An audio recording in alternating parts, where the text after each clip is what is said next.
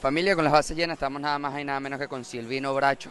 Ah, primero que nada, oh, es un placer tenerte acá para nosotros y preguntarte cuál es esa sensación de estar representando al país en este Clásico Mundial de Béisbol, luego una increíble temporada en Venezuela.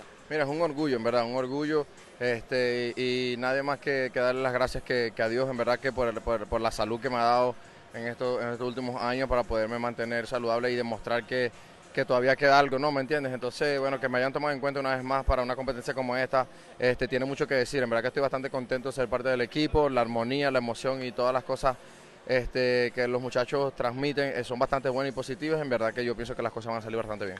Compartir un, dogado con una persona como Miguel Cabrera, que estoy seguro que cuando creciste, lo creciste viéndolo, y ahora ser estar en el mismo equipo que él, ¿Qué representa eso para ti? ¿Y en algún momento pensaste que ibas a estar en el mismo equipo que, Miguel Cabrera? Mira, nada, respeto y admiración. En verdad que este, tener a Miguel Cabrera como, como compañero de equipo es algo que todo, todo pelotero quisiera, quisiera tener. En verdad que ya yo he compartido con Miguel este, un poco, ya estuve con él también en el clásico pasado y en verdad que su personalidad, las características de él, de, de su personalidad, son algo bastante especial. En verdad que la ayuda y la armonía y siempre está dispuesto a darnos un consejo cada vez que puede este, son inexplicables. En verdad que tener a alguien como Miguel en el equipo tiene mucho que decir.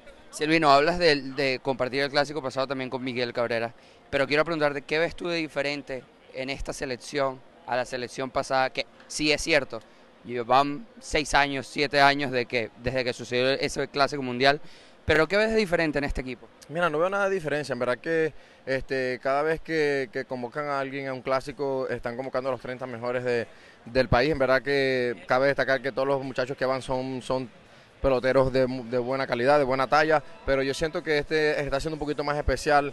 Este, sentimos una armonía increíble, en verdad que la alegría que queremos darle a Miguel, que posiblemente sea su último clásico, este son unas cosas que, nada más nosotros sabemos y entendemos desde, estando allá adentro con él. En verdad que eh, sentimos toda una felicidad y, un respeto hacia él, que todos queremos dar lo mejor de sí para demostrarle a Venezuela y a, él que puede retirarse ganando un clásico mundial. Últimas dos preguntas, Silvino. Una, terminaste tu, la temporada en Venezuela jugando con los Leones del Caracas. La fanaticada pues pide a gritos el cambio tuyo a los Leones del Caracas. ¿Te gustaría vestir el uniforme de los Leones de Caracas por el resto de, la temporada en Venezuela o prefieres mantenerte en tu equipo?